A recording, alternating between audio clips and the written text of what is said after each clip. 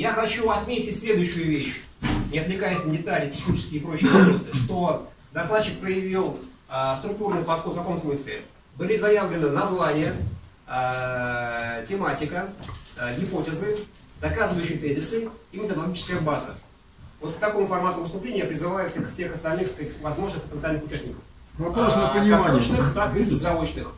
Одну секундочку, на правах э, модератора позвольте я э, задам э, пару вопросов, которые важны для консорциума. Потом перейдем в формат э, на уточнение, а не на споры. Нет, не а, скажите, пожалуйста, а, скажите, пожалуйста, а, у вас а, создана, я не знаю, матрица угроз, модель угроз, она каким-то образом в прототипе, в теории, а, а, не ощущение, что у вас готовы какие-то комплексные решения по анализу всего спектра угроз.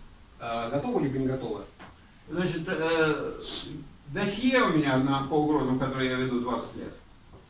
Досье на мироздание, так называемое.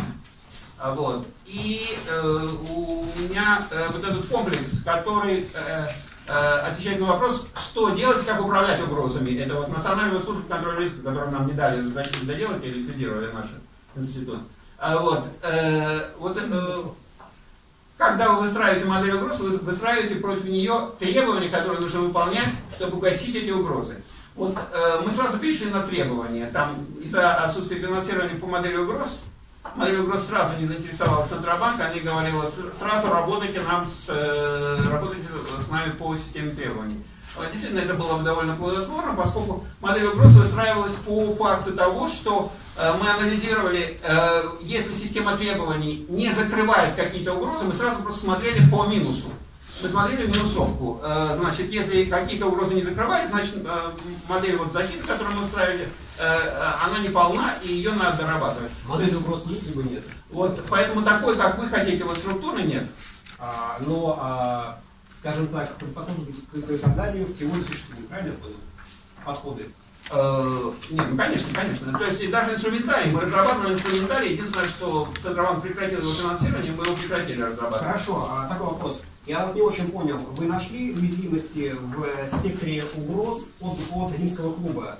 Вы просто со мной не соглашались, что там, так сказать, опубликовано? Если, предположим, скрытые угрозы, либо есть угрозы, предположим, переоцененные, либо, наоборот, недооцененные. Нет, недооценены все угрозы, связанные с э, тем, что человечество существует не, не в стабильной среде. Вот они это полностью проигнорируют. Что существуют геофизические угрозы, вообще ни слова о них. Существуют э, космические угрозы, ни слова о них. В этих, э, у них полностью э, планета это стабильная, это то, что будет существовать всегда, всегда существовало, и только люди могут его э, уничтожить. Вот э, все, что говорит Римский клуб. Во всем виноваты только люди, а не те среды, в которых, которые могут нас уничтожить всех. Хорошо, прошу, вопрос из зала, пожалуйста. Извините, я э, не пойму. А, вы все время говорите об угрозах человечеству, но я не очень понимаю, что такое человечество, если не, не понять, что такое человек. И в этом смысле я э, хочу выяснить, а почему вы не рассматриваете угрозу самоуничтожения? Ну, грубо говоря, когда глобальные интересы, представленные разными группами людей или государств, да, во главе там с тем-то или с тем-то президентом, да, решают уничтожить друг друга. Или просто из-за ошибки это делают. Нет, вы совершенно не правы. Что значит я не рассматриваю? Это э, одна из э, основных угроз, которая рассматривается бесспорно. Нет, Теории, и более того, ну, к сожалению, у меня не было возможности изложить вам 20 теорий, по парированию вот этих угроз, о которых вы говорите. Вот они в частности там рассматриваются, как парировать угроз самоистребления, самоуничтожения. Это одна из важнейших проблем. Так это проблема как раз именно в устройстве работы мозга человека. Так, пожалуйста. Да, а... и это вот э, проблема идеологической безопасности и отдельная теория, как защитить человеческий мозг от разрушительных идеологии. Можно я просто еще раз повторю свой, свою просьбу? Понятно. Вопрос задавать сугубо по докладу, а не продвигая свои, сказать, внутренние субъективные... Будет время, выложите все ваши наработки. Пожалуйста, вопрос. У меня два вопроса. Один мой, другой не мой. Вопрос мой. Э, существует ли и продолжает ли существовать и взаимодействие ли вы э, с комиссией по рискам Академии э, наук России? Это первый вопрос. И второй вопрос. Э, зачем нужен мир, если в нем не будет России? Россия не может существовать вне мира. Мы часть цивилизации человеческой. И если мы будем пренебрегать остальным миром, а мы и себя погубим, и мир погубим. А если нас мир будет пренебрегать нами? А вот это мы должны постараться, чтобы такого не было. А Поэтому мы почему должны мир не должен постараться, чтобы такого не было? Так, коллеги, Ему пожалуйста. это надо объяснить. Коллеги, пожалуйста, по поднятой руке вопросы. Иван Иванович, по поднятой руке. Пожалуйста. А, сейчас, вот я хочу попросить, чтобы камеру опустить, а то она мешает просто снимать. Ну вот, да. Вот. а, Второе, там, когда, если переставлять э, лектора следующего Так, будут, то там, сейчас я вопрос задам. Там темно будет, просто не видно будет. А вопрос, э, э, там социализм, коммунизм и капитализм. А вот э, где граница? А, То есть э, какие именно, каких именно людей в коммунизме держать, каких в социализме, а для каких э, капитализм будет? Нет, на самом деле движущим, движущим как бы, э, механизмом цивилизации является, э, как мы поняли сейчас, э,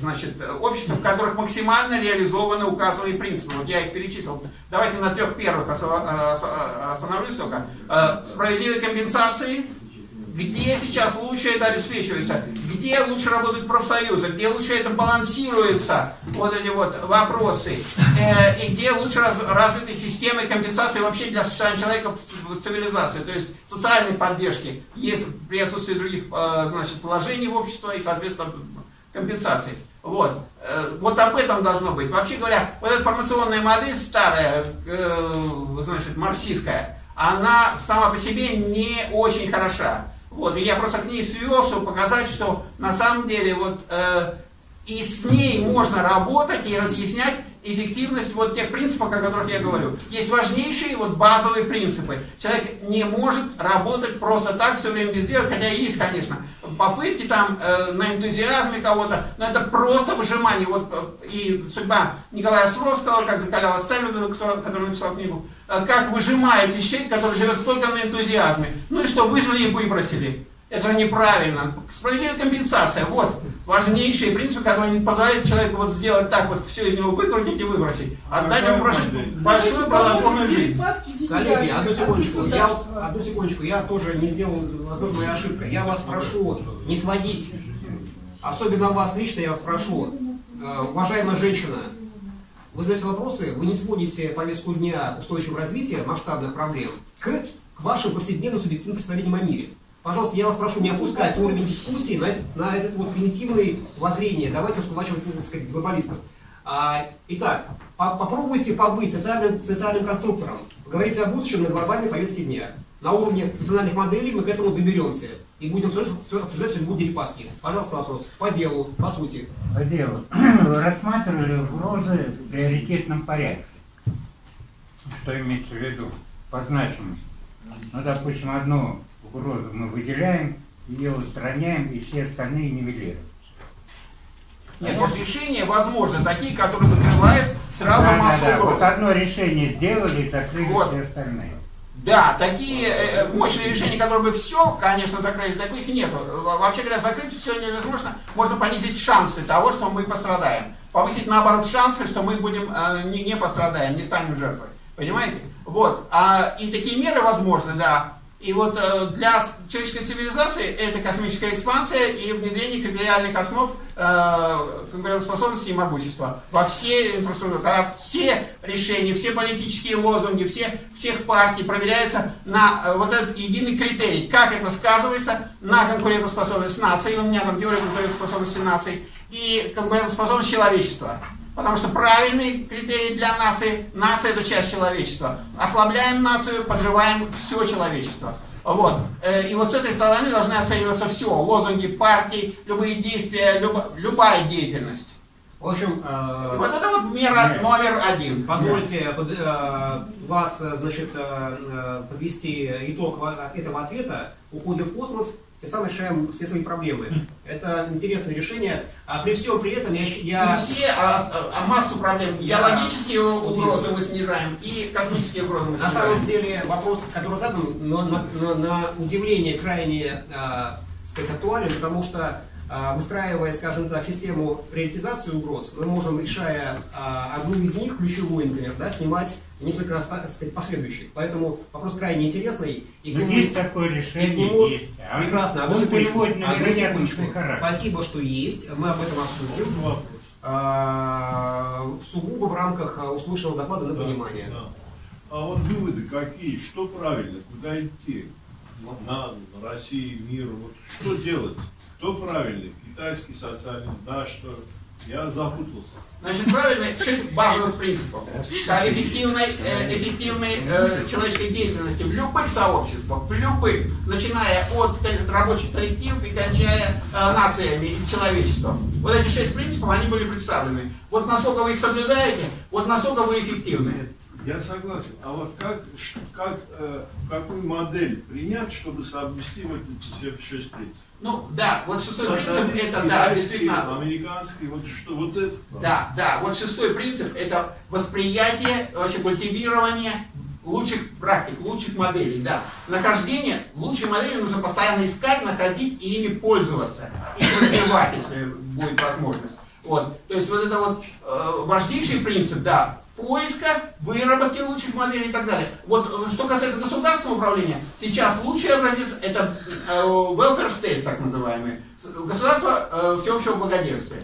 Вот, мы знаем такие государства, они есть, это Швеция, это Норвегия, это Швейцария, это Германия, это Великобритания. Вот, это государства, которые официально, да, welfare state.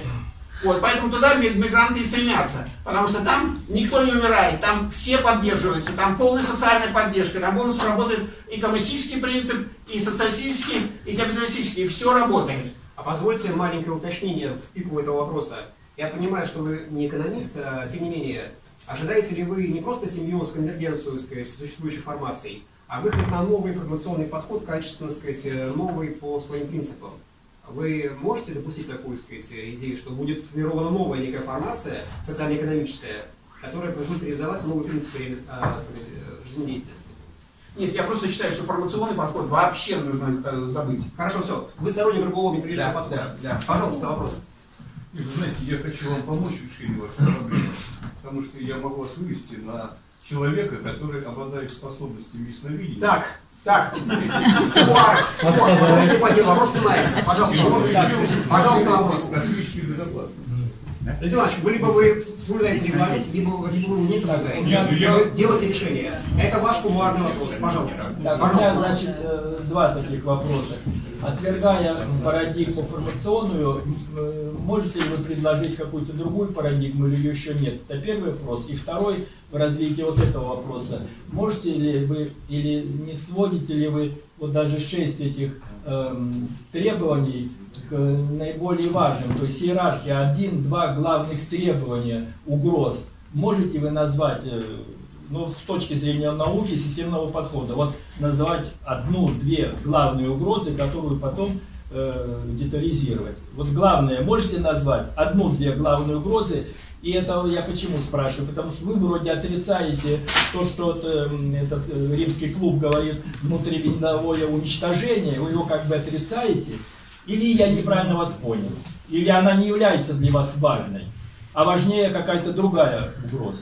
Что лучше, веревка или мыло? Вот, э, Ну, примерно так. Вот да. вы можете вот э, иерархию вот этих все-таки Значение вероятности, Главное, фактически. А, если можно ли выделить главные, самые главные угрозы?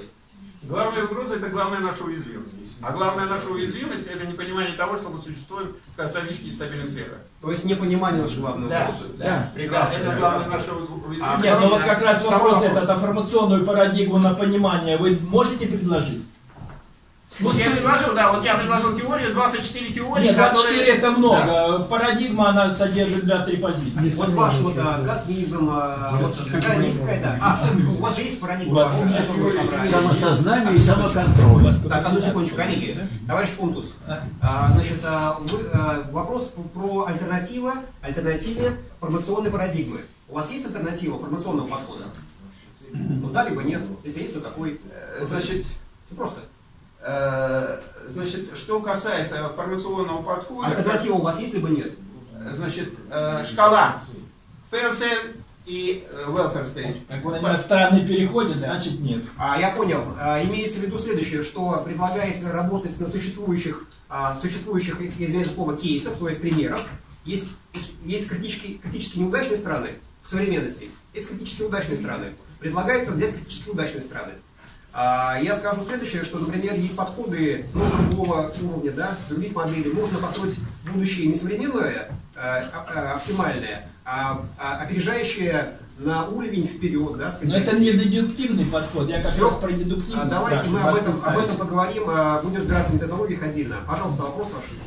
Скажите, пожалуйста, имеется ли э, сегодня вот в мире, по вашим данным, единая система и орган управления противостоянием угроз?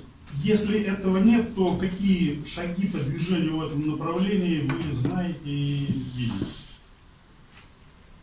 Нет, мы просто можем констатировать, что люди, которые сейчас управляют э, в мире, в частности у нас в стране, они прекрасно понимают большинство угроз и все делают для того, чтобы их снизить. В отличие от э, оппозиции, которая, к сожалению, как правило, э, во многих очень вопросах не... Я имею в виду... Нет, вот, к сожалению, к сожалению, есть огромный недостаток в нашей системе. Это отсутствие свободы оппонирования разрушительным идеям. У нас мощнейшая инфраструктура распространения разрушительных идей. Мощнейшая. И ни одного элемента оппонирования разрушительным идеям вообще нету. Есть э, грубая пропаганда, и никакого оппонирования э, «Эхо Москвы», «Новой газете» Так, так, и так далее. Но это следствие. А- Все-таки вот единый орган цивилизационного противостояния имеет место? Или какое-то движение в этом направлении? То, что если нет головы, которая будет противостоять вот этим всем угрозам, да, это все движение, вот это все будет хаотично происходить. Правильно, Есть- и происходит. Вот это Есть правда. ли, вопрос, Да. есть ли служба безопасности мира, если бы нет? Типа, Хороший вопрос. Нет, нет. нет, Пока нет. э, ООН есть, в в определенных э, первые шаги делаются ей. Но и вот есть были предложения озвучены, что нужно сделать, чтобы она стала такой системой. Да, прежде всего она должна выстроить модель угроз и с ней работать. Позвольте ответить на ваш вопрос. Полноценно. Там римский клуб предложил Вот, пр- предложение. Сергей, было ты хороший То же вопрос самое задал. по римскому клубу. Очень хороший. На него есть ответ или нет? Получается, Пока- нет такой? Пока нет. Нет, но нету, хотел сказать, что нет. будет. Не нужно давать радикальных этих самых э, ответов. Есть определенные ниши, система глобального, например, э, э, контроля ядерных э, пусков, например, да, России и США. Россия и США владельцы контрольного пакета ядерного оружия на Земле. У них есть система взаимного оповещения, система поднятия уровня эскалации угроз, система мониторинга и прямой связи между президентами. То есть в некоторых компонентах в военной сфере эта система существует. Кроме того, существуют системы, ну, худо-бедно, космического, так сказать, мониторинга астероидов. Вот нас пугает от Нибира до, сказать, да, и прочих. э, То есть э, какие-то элементы есть. ВОЗ. А, Значит, элементы какие-то существуют, Господи. а, но полноценной системы, а, думаю, что пока мы не получим а, локальный ядерный апокалипсис, мы не образуемся. А, Пожалуйста, вопрос ваш. Терехин Алексей, Алексей Терехин. У меня вот такой вопрос. С какой стати Терехин должен платить свои деньги сегодня, чтобы завтра дети Билл Гейтса полетели на обитаемую э, планету? Нет, а кто вас заставляет платить за это? У Билла Гейтса свои миллиарды. Есть вопрос так, чтобы вот эти миллиарды он потратил э, на решение цивили- э, задач повышения э, безопасности цивилизации. Но вы меня удивили, переходя на личности. Это с маленькой буквы Билл Гейтс. Знаете, у Билл Гейтса не хватит денег, сколько бы у него не было, чтобы организовать такую экспедицию. Должны будут использоваться деньги человечества. Логично. Одну секундочку. И мои в том числе. Вот вопрос. Как вы меня будете убеждать? Коллеги, коллеги, я против. Коллеги, я Хороший, против. хороший вопрос. Я Как убедить против- людей, человечество я тратить на... понижения и вульгаризации дискуссии. А, я понимаю, значит, желание самовырез, так сказать, с- Пожалуйста, вопрос. Вопрос такой. Во всех глобальных конфессиях учения все начинается с того, что сперва э, авторы этого, ну, любого проекта предлагают сперва картину мира. Леонов. Начинается с этого, как главного фактора. И э, э, Брошен. вот э, Как- как- как э, дети, как э, школьники, и понимаете, все они при- Вы школьники. философами, все ведущими даже э, ученым великим признается, что сперва картину мира предлагается, а на его основе уже все остальное. Вы признаете вот этот подход здесь? Э, Абсолютно. Что э, э, принципом номер один эм, э, является мировоззренская картина мира, которая предлагается, а с этого уже все начинается. Да, Или нет? абсо- Абсолютно, да. Ну вот тогда можно назвать первым э, пунктом номер один безопасности э, картину мира, которой мы пользуемся. Но было Человек. сказано, непонимание угроз – самая первая глобальная угроза. То есть номер один это есть картина мира. Понимание Сперва, сути- первичная. Сути и сущности. Коллеги, мы закончили с блоком вопросов? Я Нет. надеюсь, что закончили. У нас еще есть докладчик, супер докладчик, Один. поэтому, пожалуйста. Основной вопрос. Я рада видеть представителя ИСА. Вот. Тем более, что в э, создании, разработке всех этих моделей по глобальному управлению мира а, и стоял системный анализ. И вот такой вопрос. А вы вот лично осознаете вообще слабость именно системного подхода, глобального моделирования, ну, через запятую, по отношению к социуму, что было и использовано как раз в Римском клубе и подобных организациях. Они именно глобальное моделирование использовали к динамике развития социума. И там, вы знаете, если прекрасно, кто там стоял за этим моделированием, всякие там Озбекхан, там Александра Кинг, шпион на шпионе, все представители. Пожалуйста, конкретный вопрос. Да, вот вы осознали, что Ограничительные сам методы. метод глобального модели- моделирования, системный анализ неприемлемый